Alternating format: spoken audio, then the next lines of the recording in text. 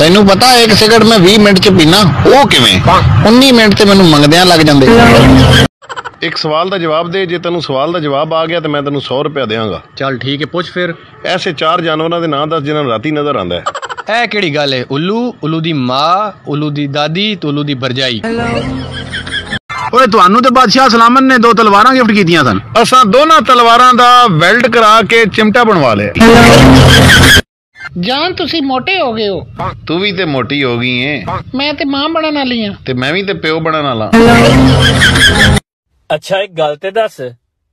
ਤੂੰ ਮੇਰੇ ਕਿਹੜੇ ਸਵਾਲ ਤੋਂ ਜ਼ਿਆਦਾ ਡਰਨੀ ਏ? ਜਦੋਂ ਤੁਸੀਂ ਮੈਨੂੰ ਪੁੱਛਦੇ ਹੋ ਕਿ ਬੱਚੇ ਸੋ ਗਏ ਨੇ।